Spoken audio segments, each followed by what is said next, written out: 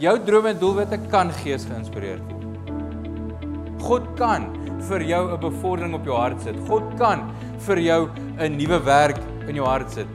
Hy kan vir jou 'n besigheidsplan op jou op jou hart sit. Hy kan dit doen. Maar is dit God geïnspireerd?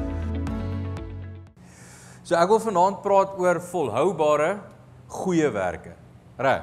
Julle almal stem saam ons is geroep vir goeie werke. Reg. Ehm uh, die woord sê werke OK. Ons is geroep vir goeie werke. Nou Galasiërs 5 vers. Ek wil eers Jakobus, skus. Kom ons gaan lees eers Jakobus 2 vers 18 tot 21. Gaan gou saam met my daartoe. En ek dink is dalk op die bord. Yes. OK, maar iemand sal sê jy het die geloof en ek het die werke. OK, let klem daarop om te sien dat dit die woordjie werke is, is meer fout. OK? En dan gaan nou verduidelik wat wat dit beteken.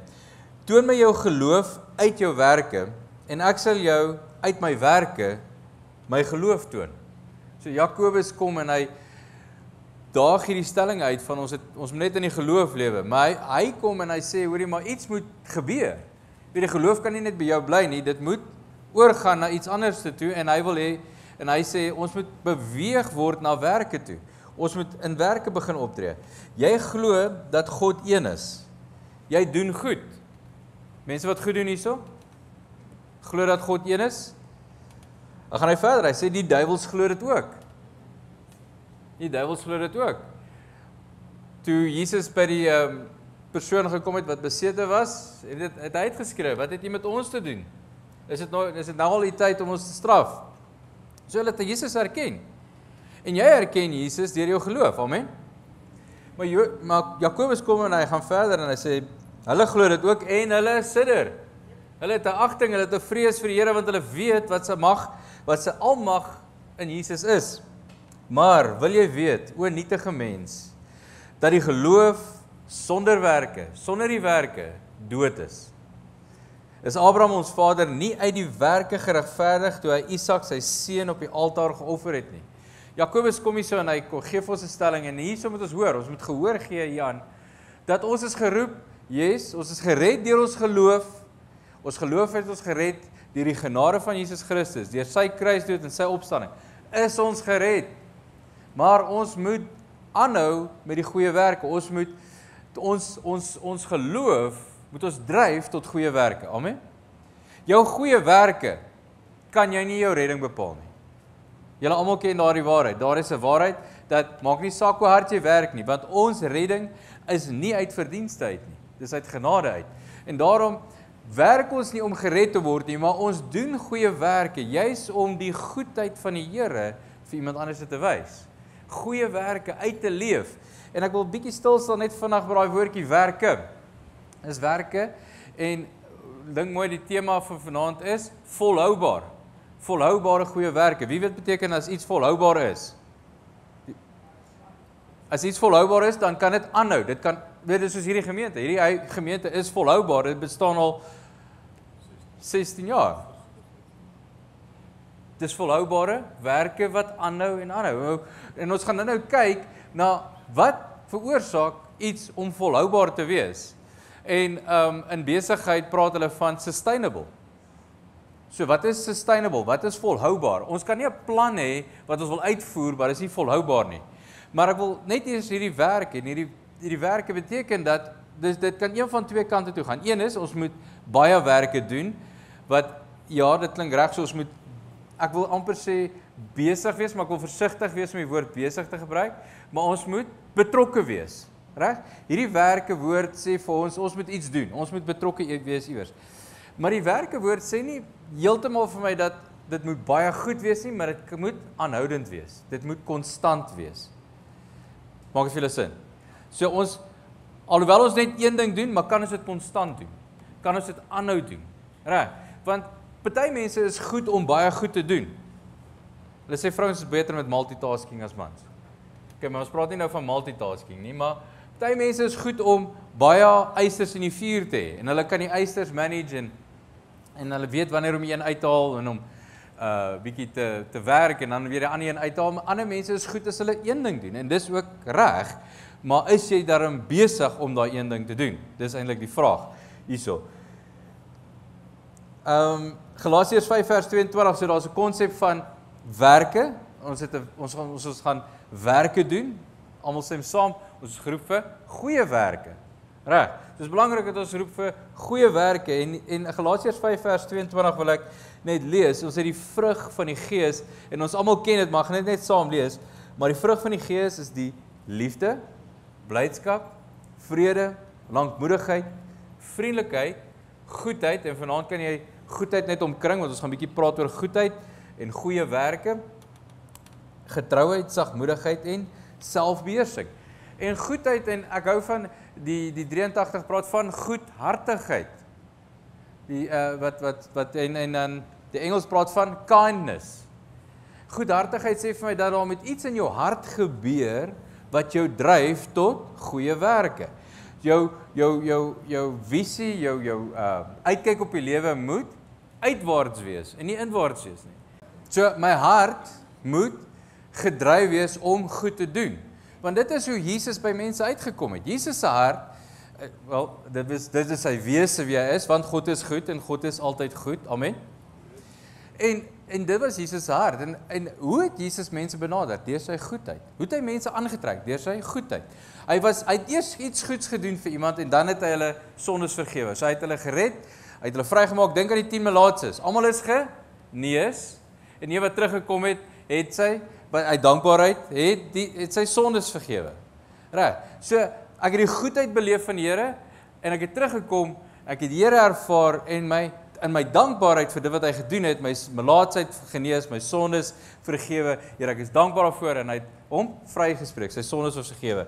So goedheid trek mense aan. Om goed te wees vir iemand trek mense aan. En ehm um, dit maak ook die deur oop. Weet en en dit is hoe ons Jesus reflekteer. Die vrug van die Gees deel van dit is om goedhartig te wees. 'n Hart wat uitroep daarna om goed te doen. So wat beteken kindness? Kindness. As ons kyk na die woord kindness of goed, goedheid beteken dit goodness in action. Reg. So Galasiërs 5 vers 22 en Jakobus praat met mekaar. Reg, so ons gaan kind wees, maar dit beteken ons moet dit in aksie bring. Ons kan nie net stil sit en sê ek is goed nie. Ek is ek het 'n goeie hart. OK, wys vir my jy het 'n goeie hart. Waar is jy betrokke? Wat doen jy? En uh, ek hou van die volgende sweetness of disposition. Daai soetheid, daai geur van oor die um, daar's daar's iets lekkers hier aan. Dis lekker om in daai persoon se teenwoordigheid te wees. Ek voel goed as ek in daai persoon persoon se teenwoordigheid wees. Ons ons almal moet altyd as hulle in jou teenwoordigheid was, moet hulle beter al wegstap. Reg?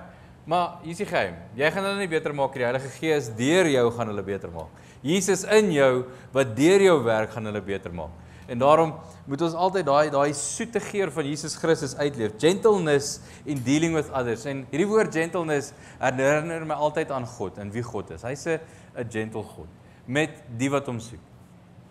Die wat hom hy's hy's hy's geduldig, hy's lankmoedig. Daai vrug van die Gees wat ons nou net gelees het, dis wie God is en en dis wat hy wil hê ons moet uitleef sodat ander mense dit kan sien.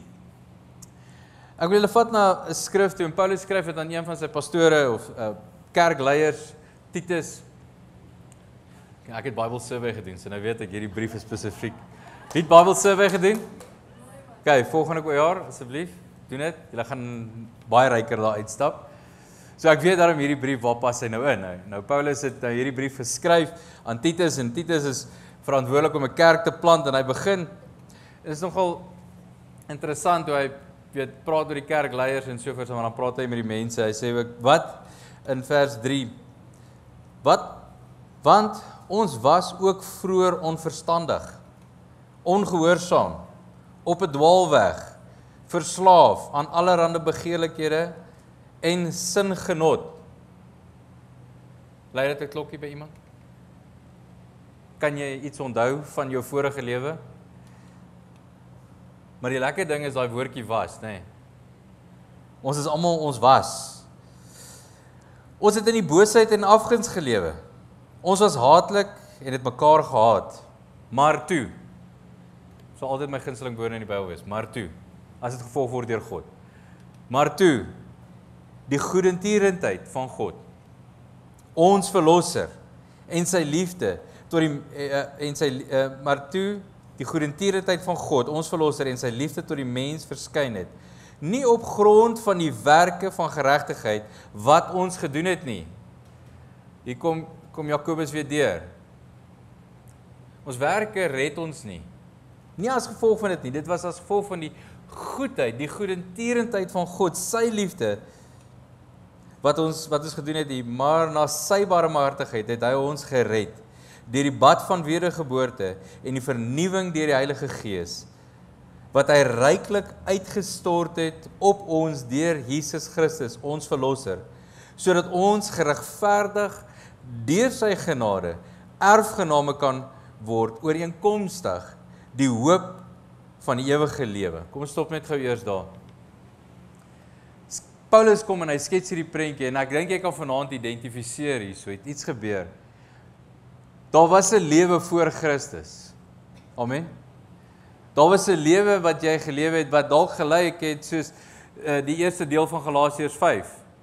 Weer al van vers 19 af of selfs in wat wat hy hier beskryf in Titus. En ons kan daarna weer daai bitterheid en daai haat en daai daai afguns waarin ons gelewe het wat ons mense niks gegeen het nie. Maar dan kom hy dan sê maar toe het Jesus gekom. God het gekom en sy goedertiere het, het het ons verander. Wat het dit gedoen? Dit het ons verlos. Ons losgemaak van 'n sondige lewe. Dit ons vrygekoop van 'n sondige lewe. Ons hoef nie meer in die ou sondige lewe te lewe nie. Amen. Dit het ons gered. Jy sien, jy praat van redding. Een is um, jy moet eers erken jy het redding nodig. So as jy kan erken dat daardie lewe is nie deel van God nie, dan jy redding nodig. Hier is die goeie nuus. Die redding is bewerk vir jou aan die kruis van Golgotha deur Jesus Christus. So redding is daar. Redding beteken dat ek kan nou voor die regter staan en daar is nie meer 'n aanklag teen my lewe nie. Dit het dit het gebeur in my lewe. Maar nie as gevolg van my goeie werke nie, maar as gevolg van Jesus. Jesus het my gered. En dan het hy my kom vernuwe, hy het my nuut kom maak, hy het my denke verander, die manier hoe ek lewe. sien julle hoe dit gebeur hierdie progressie as ek dit so kan gebruik van 'n gelowige. Ek word verlos, ek word vrygemaak, ek word gered en ek word vernuwe. Want Jesus gaan jou nie los soos wat jy is nie. God wil jou nie los soos wat jy is nie, want hy het 'n goeie plan vir jou. Daarom sê almal wat in Jesus Christus is, kyk, alles het nuut geword. So al hierdie dinge gebeur en en ekskuus, ek wil net teruggaan na vers 8 toe. En daar's 'n rede hiervoor en daar's 'n rede hoekom Jesus, hoekom God dit vir jou gedoen het. En hier's die rede. Sien ons kan nie net in geloof lewe. Almal glo ons is gered. Almal glo ons is vernuwe. Ons is verlos. Maar hier's die rede. Dit is 'n betroubare woord en ek wil hê dat jy in hierdie dinge beslis bevestig sodat die wat in God glo, kan ek sê wie glo in God? Wie glo in God? Amen. Die wat in God glo, sorg kan dra om goeie werke voor te staan. Dit is wat goed en nuttig is vir die mense. Jou redding is nie vir jouself nie. En ons het dit al baie gesê in hierdie gemeente en baie keer word dit gepreek. Maar Jesus weer eens het net bevestig dat ons redding is nie vir onsself nie. Dit is vir 'n wêreld wat ook moet ervaar hoe dit voel om verlos te word. Ook ervaar wat dit is om gered te word. Ook moet ervaar hoe dit is om vernuwe te word. Weer op 'n nuwe manier te dink. So ons is geroep vir goeie werke en ons is geroep in hierdie werke. My vraag is, hoe kry ons dit reg om dit volhoubaar te doen? Want wie het al iets gedoen en dit nie klaar gemaak nie? Ja. Wie is tans besig met iets wat nou al lankryk staan? Ek vind aan op stukkie. Dit voel baie keer of dinge net nie klaar kom nie. En daar's redes daarvoor. Daar's redes hoekom dit nie klaar kom nie. Baie keer is dit net tyd, baie keer is dit beplanning, baie keer is dit die lewe. Maar ek gaan na na na 'n paar punte kyk vanaand wat ons dalk kan toepas, nie dalk nie wat ons kan toepas wat jou gaan help om nie net goeie werke vir een keer te doen nie of 'n goeie werk te doen nie, maar om in 'n lewe te kom wat gevul is met goeie werke. Wat volhoubaar is, wat kan aanhou, wat jy môre weer kan doen en die dag daarna en miskien dalk vir 6 jaar aan jou kan doen. Of soos wat die Here 16 jaar plus wat ons nou nog moet gaan. Want ons gaan nog lankie wees, amen. En ons gaan nie so bly nie. Hierdie Woensdag aand dienste gaan vol wees, amen maar so ook elke ander diens. En ons sien uit na daardie. So daar's daar's 'n paar aspekte wat ek wil kyk. En hierdie goed kan jy gaan toepas nie net op jou geloofslewe nie, maar ek wil hê jy moet dit gaan toepas op jou daaglikse lewe. Ek wil hê jy moet dit gaan toepas op jou werk. Ek wil hê jy moet dit gaan toepas op jou verhouding. Enige verhouding waarin jy staan. Ek wil hê jy moet dit gaan toepas in jou huwelik. In jou besigheid. Reg? So die eerste punt wat ek wil maak is die regte plek. Om iets vir om vir jou om volhoubaar te wees, moet jy op die regte plek wees. En jy moet in die regte funksie funksioneer. Want baie mense, julle almal sal my getuig dat jy het al goed gedoen, maar dit was nie jou plek nie. En dan het jy frustreerd geraak. Jy het moeg geword. Amen. Ek kan getuig daarvan dat ek het in baie posisies al gesit wat nie vir my was nie. Dit was nie vir my bedoel nie. Dan het dit frustrasie ontlont of dit het uh, my moeg gemaak of ek het dit net nie klaar gemaak nie of ek het dit ook nie so gedoen soos wat ek veronderstel was om dit te doen nie. Ons doen alles tot, asof ons dit vir God doen, van harte om dit vir God te doen. So wees op die regte plek. Is jy op die regte plek? En hier moet jy jouself die vraag gaan afvra: Is jy in die regte posisie by jou werk? Maar ek wil dit nou 'n geestelike punt toe bring, maar jy kan dit gaan toepas. Een is is ek op die regte plek? Is ek in die regte verhouding? Moet ek in hierdie verhouding wees? Is ek op die regte plek in my huwelik? Is ek in die regte plek in my besigheid? Efesiërs 4 vers 11 tot 12 skryf Paulus en hy sê en hy het gegee sommiges sommige as apostels, ander as profete, ander as evangeliste, ander as herders en leraars. Kan julle sien die vyfvoudige bediening? om hulle heilig om die heiliges toe te rus vir hulle dienswerk tot opbouing van die liggaam van Christus. So, wat moet daar gebeur? Die liggaam van Christus moet opgebou word. Kan julle sien dat daar 'n spesifieke rolle vir spesifieke mense? En net voor ek wil uh, ons kan net gou 1 Korintiërs 12 gou ook lees en dan sal ek vir julle verduidelik wat ek hierby bedoel want net soos die liggaam een is. OK, ons almal het een liggaam waar jy sit. Jou arm lê nie nou langs jou nie en dan nou sit jy hom aan nie. Ons almal is een. Ons is uh, weet jy's aan mekaar vas. Dankie Here tog daarvoor. Net soos wat die liggaam een is en baie lede het en al die lede van een liggaam al is hulle baie een liggaam is. So ons is almal een liggaam. Dis wat Paulus hier kom skryf in baie woorde. Soos een liggaam, so ook Christus want ons is almal ook deur een gees gedoop tot een liggaam of ons Jode of Grieke was slawe of vrymanne of en ons is almal van een gees deur deur deur ehm um, dronge want ook die liggaam is nie een lid nie maar baie as die voet sou sê omdat ek nie die hand is nie behoort ek nie aan die liggaam nie behoort hy dan behoort hy daarom dan nie aan die liggaam nie En as die eh, die oor sou sê omdat ek nie die oog is nie, behoort ek nie aan die liggaam nie. Behoort hy daarom nie aan die liggaam nie? As die hele liggaam oog was, dink dink gaan daaroor. Is die hele liggaam oog, dit sou net vreemd gewees het. Die liggaam oog was, waar waar sou die gehoor wees? As dit geheel en al gehoor was, waar sou die reuk wees? Maar nou het God elkeen Wys gou vir jouself elkeen. Wys vir jouself elkeen. Elkeen van die lede van in die liggaam gestel soos hy gewil het. So, hier kan ons sien dat almal het 'n plek. Jy het 'n plek om in te pas. Jy het 'n 'n funksie om te verrig. Jy's of 'n hand of jy's 'n voet of jy's 'n oor. En ek het dit nou-nou vir iemand gesê en ek het dit vroeër ook vir iemand gesê, jy kan 'n deel van die liggaam wees, maar jy kan nie die hele liggaam wees nie. So jy moet weet dat ek moet 'n spesifieke rol vertolk.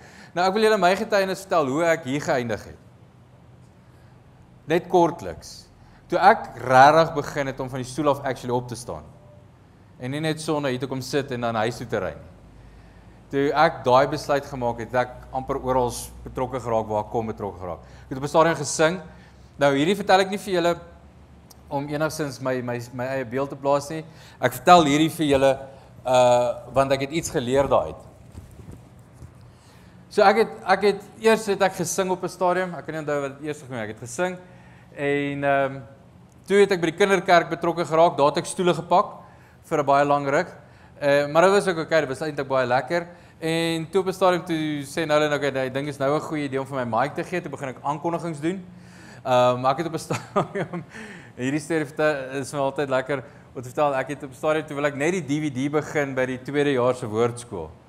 En ehm um, ek het eerste jare gedoen. En uh, nou sê ek nee, maar ek, ek sal die DVD aan die gang kry vir die tweede jaars. En elke keer as die tweede jaars opdaag en ek wil die DVD begin, dan wil hy nie werk nie.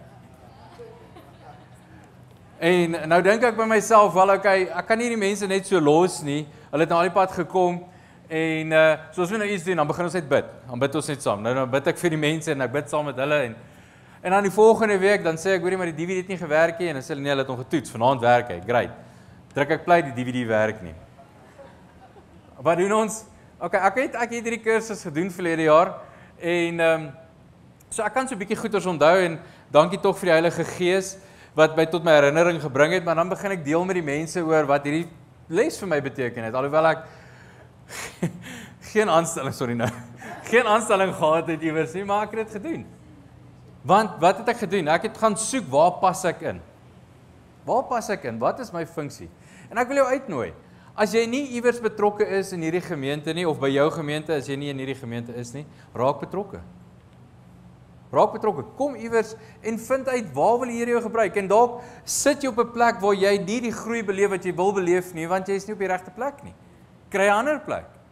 Totdat jy die regte plek kry en ek het my plek gekry. Ek hou van teaching hier. Ek sal 2:00 die oggend opstaan om voor te berei vir vir dit want dit is my passie, dis wat vir my lekker is. Ek sal hierdie doen. Ehm um, ek sal 3 ure lank klas gee as ek moet klas gee want dit is vir my lekker. Reg? Het iemand dan gesê amen want ek beklaar maak. Nee, ek speel. Ek speel. maar maar dit was 'n pad gewees wat ek moes stap om sê Here, waar pas ek in? Waar's waar waar's my plek hier in hierdie gemeente? En ek wil vir jou bemoedig, hier is 'n plek vir jou in hierdie gemeente. Hier is 'n plek vir jou by jou werk. Here, waar waar begin ek? Waar begin ek hierdie mense bedien? Al is dit net een persoon. Man, ek wil wil nou nie iemand op die spot sê. Louis, jy is 'n sprekende voorbeeld. Sorry, ek sit jou op die spot, maar jy is 'n sprekende voorbeeld. Louis wag nie vir 'n podium nie. Sorry, ek gaan nie op die podium. Louis wag nie vir 'n podium nie. Hy vat die podium na die mense toe. Hy vat die podium toe daar waar waar hy werk. Tian Arushka, ekskuus. Ek het nou nie beplan om mense op die spot te sit nie, maar Tian Arushka. Hulle het iemand gevra, "Hoerie, kan ons iets in die skool begin nie? Hulle het iets gedoen." Here, waar pas ek in? En hulle lewe hulle roeping uit. Louis, jy lewe jou roeping uit. Waar lewe jy jou roeping uit? Is jy besig? Is jy soekend? En is jy bang om te waag? Baie mense doen niks nie want hulle is bang vir seerkry, hulle is bang om te misluk. Jy gaan net sukses behaal deur jou mislukking. Ek het soveel foute gemaak toe ek begin het. Ek sal nooit vergeet nie. Maar dit was lekker geweest. En daarom het ek 'n mentor gehad wat tyd spandeer het met my en gesê het, "Weet jy wat? Kom ons werk hier aan. Kom ons verander hierdie. Kom ons doen dit so." En vandag is ek hier en ek groei nog steeds en ek is nog steeds lus om te leer. En dit is my lekker as my mentor vir my as Nolan vir my inspraak gee. Dit is my lekker. Want ons moet op 'n plek wees waar ons leer want dan vind jy jou plek. So as jy minder frustrasie as jy wil volhoubaar werk, as jy volhoubare goed wil doen, kom op die regte plek. Reg, die regte krag. Hoeveel van julle goed, hoeveel van julle doen goed en dan word julle moeg? Ja.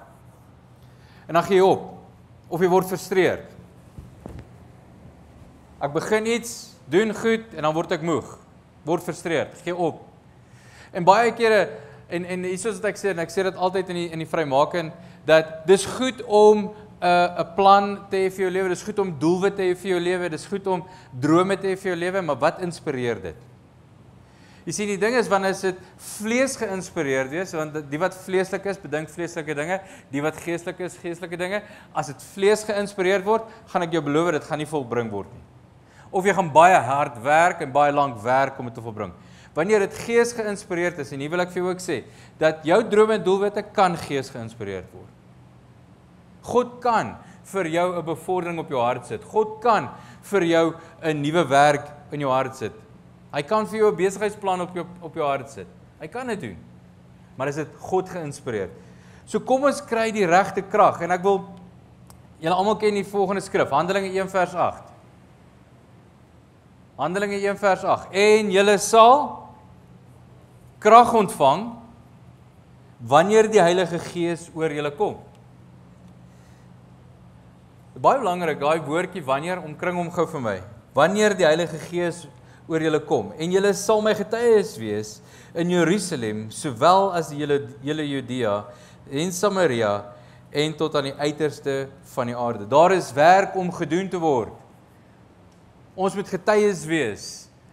En die disippels het gegaan en hulle het getuie, hulle was getuies. Maar wat het hulle nodig gehad? Die regte sê dit saam my krag. En die regte krag is die Heilige Gees. Die julle ken die antwoord, julle kan maar hard praat. Heilige Gees. Reg. Maar daai woordjie wanneer sluit aan by die volgende skrif, want ons moet net wat ons almal opgewonde, ons het krag van die Heilige Gees. Ek kan alles doen. Ek is tot alles in staat deur Christus wat my krag gee. Ek het die Heilige Gees ontvang, so ek het krag. Maar ons moet teruggaan na Handelinge 1 vers 4 toe. En ek wil julle kom ons gaan net gou daar. En toe hy nog met hulle was, het hy die bevel gegee om nie van Jerusalem Jerusalem af weg te gaan nie, maar om te, sê saam my, wag En as jy Bybel by jou het, is dit 'n goeie plek om nou daai te omkring. Maar daai woordjie wag. As jy in die regte krag wil funksioneer, moet jy eers hierdie reg kry. Maar om te wag op die belofte van die Vader wat julle het wat julle het hy gesê van my gehoor het. Wag. Volgende skrif is net so belangrik en net so bekend. Jesaja 40 vers 31.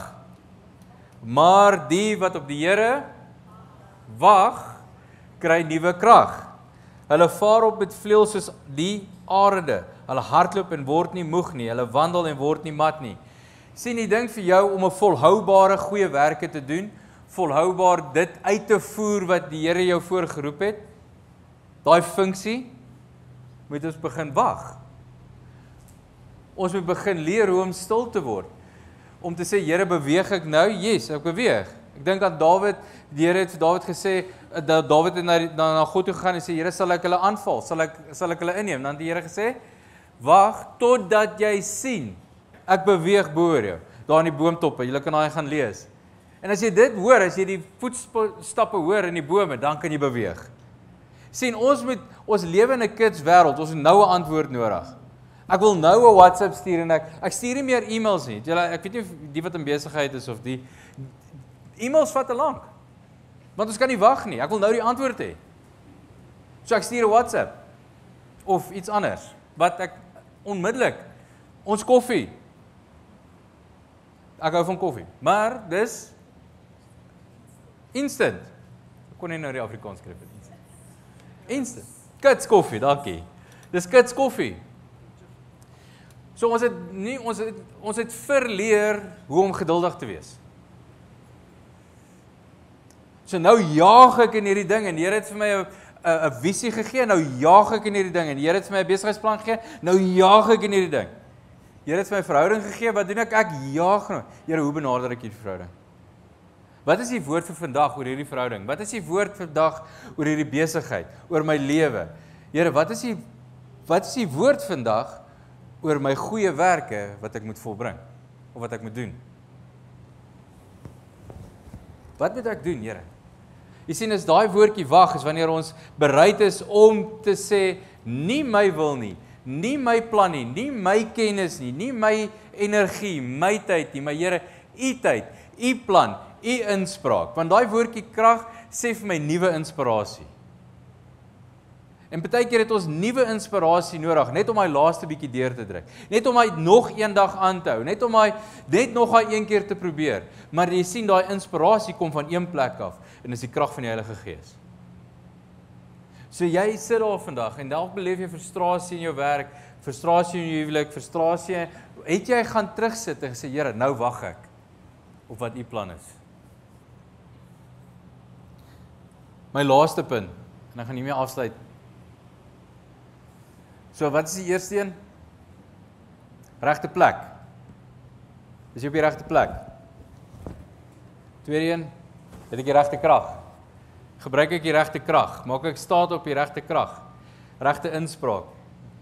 En die laaste punt is regte hart. Het ek die regte hart? Jy sien, en en Nolan sê dit baie en ek ek hou van dit. Jou motivering, dit wat jou motiveer bepaal die krag waarmee jy dit doen. En ek en ek glo dat ons motivering word in ons hart gebore. Jou intensie, jou inspirasie, dit wat jou dryf om dit te doen. Dit bepaal die krag. As jy dit doen net om dit te doen, as jy dit doen net om raak gesien te word. Sien, ons praat van goeie werke. En Jesus waarsku ons in in in Matteus 6 wanneer jy goeie werke doen, doen dit sodat jy nie raak gesien word nie. So as jou inspirasie is vir 'n aansien van mense, gaan jou gaan jou werk nie volbring kan word nie. Dit kan nie volhoubaar wees nie. Maar as jou inspirasie is die aansien van God en God se loon om dit te kry en te sê want dit beteken ek sterf van myself, dit wat ek is, dit wat ek dink ek moet wees, ek sterf van myself en ek laat God vorentoe kom. Want ek wil God reflekteer, ek wil Jesus reflekteer. Want jy sien as ek Jesus reflekteer en goeie werke reflekteer, dan dan kan iemand tot bekering kom. Dan word Jesus raak gesien. Dit is volhoubaar. Jy sien dan net my hart verander. En dit is belangrik dat ons ons harte toets. Dat is ons inspirasie, is ons motivering, is ons intensie in lyn met dit wat God beplan het. Ek gaan terug na my na my na my vorige punt wat gesê het die regte krag soos ons wag vir die regte krag. Dit wat in die vlees gedoen word, word uitgeput, dit word moeg. Jesaja 40 vers 31 sê hulle hardloop en word nie moeg nie. Dit is volhoubaar. Maar as ons hart reg is, is geïnspireer deur God. Sê, nou wil ek vir die volgende ding sê. Jy hoop vir 'n bevordering, jy hoop vir vir 'n nuwe werk ensovoorts of jy hoop spesifiek vir bevordering. Die wêreld leer ons, die wêreld leer ons jy moet langer werk. Jy moet meer werk. En daar's 'n plek van dat ons moet getrou wees in dit wat ons doen en ons moet gehoorsaam wees. En daar's 'n plek van om 'n bietjie uit jou comfort zone uit te kom om te groei, maar moenie toelaat dat jou werk jou so besig hou dat jy nie by die belangrike goed uitkom nie. Jy sien daai werk is net 'n gedeelte van jou lewe. Ek hou van die skrif wat Jesus gebruik. Hy sê die wat getrou is oor die minste sal oor die baie sal oor baie aangestel word. En dan gaan hy dan sê die volgende, hy sê die wat dan ontrou is in Mammon sal of of die wat dan getrou is in die minste, Mammon, geld, sal oor die ware goed aangestel word. En dit is vir my interessant om te sien want eintlik wil Jesus sê daar's dinge wat belangriker is as geld. En jy geesvervulde nuutgebore kind van die Here, ek hoef dit eintlik nie vir jou te sê nie, maar daar's dinge wat belangriker is as geld. Daar's dinge wat belangriker is aansien. Dis die goeie werke wat die Here jou voorgeroep het. En laat jou hart reg wees. Jy sien man, maar jou hart sal reg wees as jy wag vir die inspirasie vir die Here om dit in jou hart te plant. In Spreuke 19 vers 21 staan daar baie planne is in 'n man se hart en ek kan getuig hiervan. Kyk, ek het al baie planne gehad. Word ek wakker 12 uur die aand en dan dan het ek planne jong en en planne maar en as ek nou eerlik is, is ek regtig vir myself gaan sê daai planne was een ding en dit was ek moet geld maak. En ek moet hierdie groot goeders doen en ek moet was vleesgedrewe. Dan word ek wakker 12 uur die aand en ek is moeg die volgende dag ek kan nie werk nie want die planne in my hart was nie God geïnspireerd nie. Die planne in my hart was vlees geïnspireerd. Maar jy sien dis wanneer jy die die inspirasie verander. Baie planne is in 'n man se hart, maar die raad van die Here is die sal bestaan. Sien is wanneer ek terugkom om te sê Here, ek wag, verander my hart, verander die intensie in my hart. En daarom kan ek doen wat ek doen. Daarom is dit vir my lekker om te doen wat ek doen. Dit wat ek geroep is vir um, in my besigheid. Dis vir my lekker om daar te wees. Dis vir my lekker om in my huwelik te wees. Dis lekker om om om om om dit te doen. Dis wat vir my lekker gewees om vir 'n baie lang rukkie kinderkerk te doen want dit was my roeping gewees. Maar die Here het 'n nuwe plan. 'n Nuwe plan. En daarom is dit vir my so lekker om nou vir iemand te gee wat ek net weet nog iets groter daarmee gaan doen. Amen. Ek wil hê ons moet dit profeteer. Die kinderkerk gaan 'n amazing plek wees. Amen. Amen. Die kinderkerk, maatjies gaan maatjies nooi. Ek kan sien baie van ons ouers gaan oorslaap aande hê Saterdagaande. Want die kinders gaan wil kerk toe kom. En dan gaan die paas en die ma's wil kerk toe kom. Want ons het iemand wat nou op die regte plek is. Met die regte hart, met die regte krag. Amen.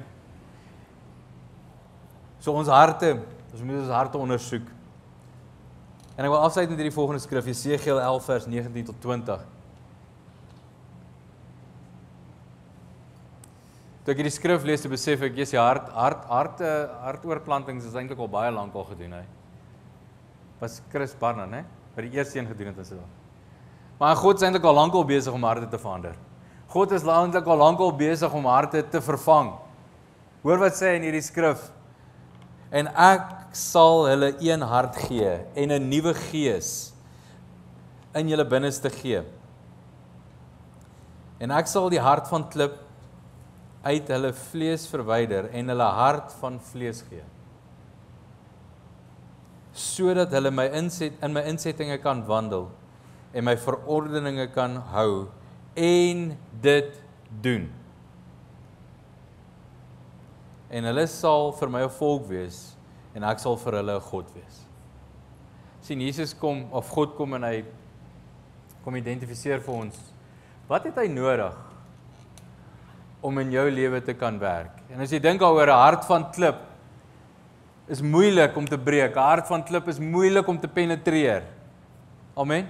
Wie ken sulke mense? Wie is nee, speel.